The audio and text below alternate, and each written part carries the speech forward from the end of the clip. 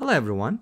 In this video we're going to be using the multinomial theorem to find the number of distinct terms in this expansion. We have x plus y plus z plus w to the 10th power and we're going to be finding the number of distinct terms. So I'll be presenting two methods. Here's the first method.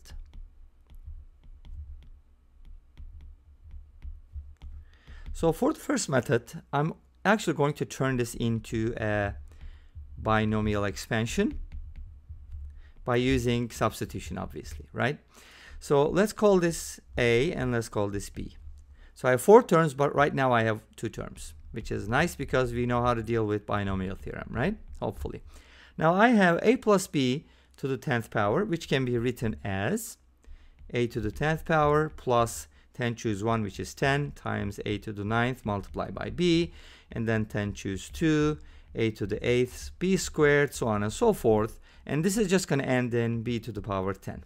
Okay, so what I want to do is I want to back substitute. Go ahead and replace a with x plus y. So it looks like x plus y to the 10th power and then 10 times x plus y to the 9th power multiply by b which is z plus w and then with 10 choose 2 I can do the same thing pretty much it looks like x plus y to the eighth power multiplied by z plus w. And finally, at the end, we're going to get z plus w to the power 10.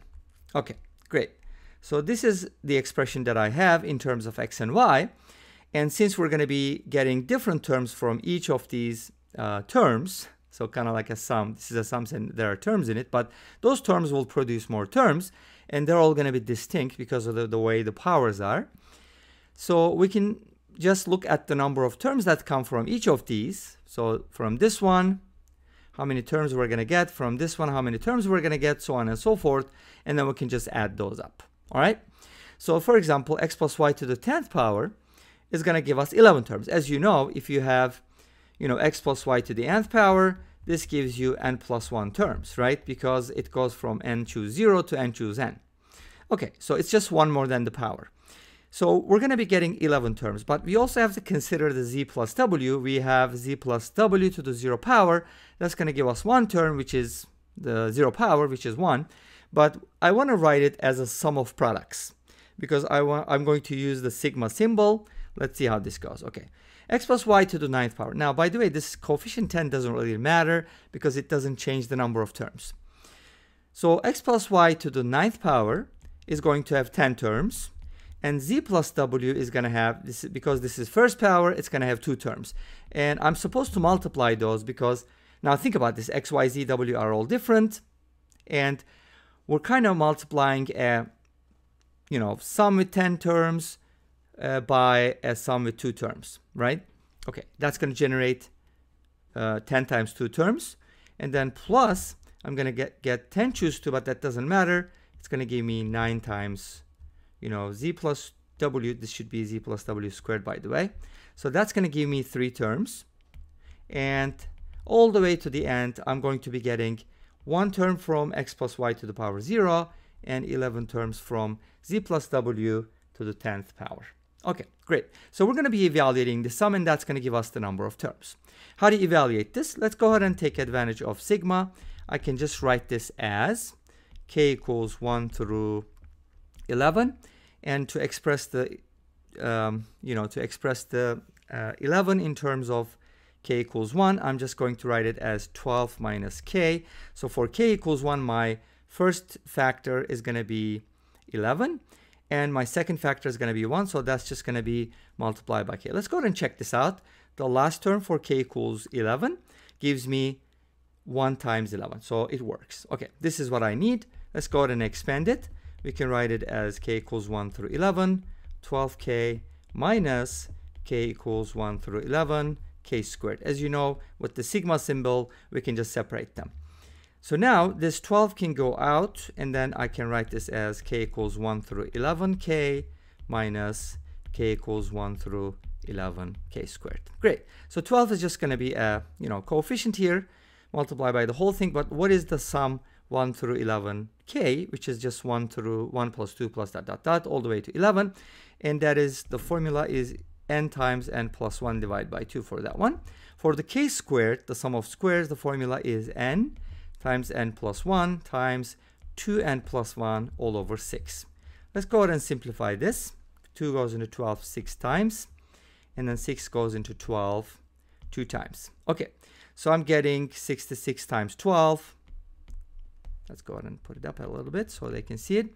And uh, 46 times 11. Okay, great. Now 66 times 12 is going to become 792 and this is going to be 506 and the difference is going to be 286. So this expression has basically 286 terms. And this brings us to the end of the first method. Okay, not to the end of the video. Let's go and take a look at the second method. Now the second method is a little different, but it's basically counting the same thing. So we're going to use the multinomial theorem here for this one. So let's go ahead and take a look at it. So I have four terms uh, that are being added and I'm raising it to the 10th power. And this can be written as follows. I can just write this with sigma.